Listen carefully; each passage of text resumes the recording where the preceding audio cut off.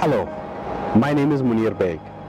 I am running for the chairman of Prince William County Board of Supervisors. Just like you, my wife and I have had our fair share of commute and frustration. Time is not anybody's friend.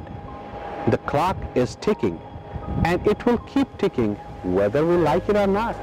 We have many problems with transportation and there is no magic spell that will make these things disappear overnight.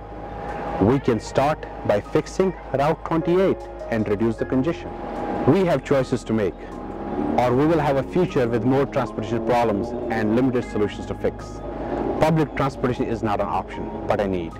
As the costs soar, it may become impossible to have a metro in Prince William County. Time is now. My vision of One Prince William provides a comprehensive roadmap for solving the transportation needs of our community. Vote for leadership that will deliver, not differ. Vote for One Prince William. Vote Muneer Baig come November.